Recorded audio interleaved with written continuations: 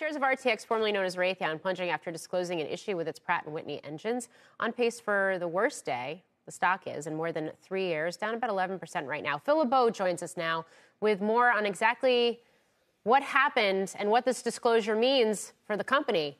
Phil. Well, well, it's a little bit uncertain what it means long term. Near term, it's going to be a $500 million hit that they're going to take because of the engine inspections that need to be done. We're not going to get too wonky here, but let me explain exactly what RTX is going to be doing through its Pratt & Whitney division. They will be inspecting 200 of these geared turbofan engines in the coming weeks. A thousand of them will be checked over the next year. The issue, they're looking for powdered metal contaminants. Not all of them are believed to have these contaminants, but those that do, they will then have those uh, parts replaced. And all of this brings up the question well, how many of these engines are out there, and what does it mean for the airlines that have planes that are using these engines? Well, there are about 3,000 in service worldwide. The Pratt geared turbofan engines power about 40% of the Airbus A320 Neos worldwide. So it's an extremely popular plane, using an extremely popular engine.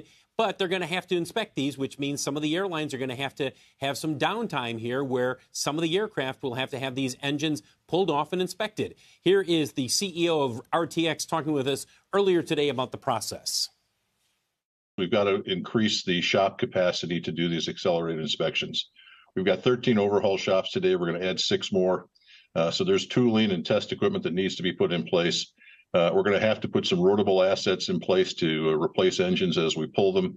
Uh, and we're going to have to um, try and work with the airlines to, to compensate them for some of the costs associated with this.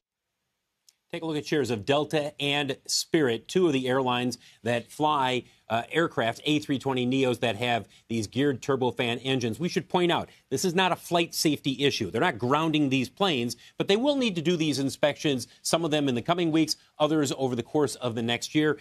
Also, as you take a look at shares of RTX, which, as you mentioned, uh, Morgan, it's have the worst day since what, uh, March of 2020.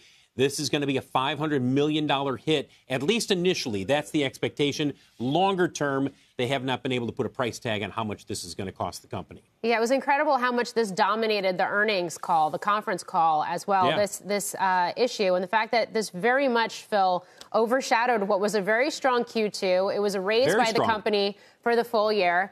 Commercial, aftermarket, defense doing really well too, as you see all that restocking uh, of supply tied to Ukraine. Yep. Uh, and yet, this has been the driving factor for this name today. Right. And it's partially that they haven't been able to say, we know how much this is going to cost long yeah. term. Is this going to be devastating to RTX, let's say over the course of the next year, or will it be a blip? Odds are it's probably not going to be long term. Keep in mind, they have a, a, a decent sense of how many of these air, aircraft engines they think are going to have to have parts replaced. They do not think it's a large number, but they have to do these inspections. And again, it's not a flight safety issue. It'd be different if they said ground these planes. That is not what is going on here. Very quickly, where does this powdered metal come from? It was part of the manufacturing process and they first discovered an issue going all the way back to 2020 as they started investigating. Then they said, okay, here's where we think the impact is. It does not impact the geared turbofan engines that are in production or in the manufacturing process right mm-hmm. now. All right, Phil LeBeau, thank you very much. And Power Lunch will be right back.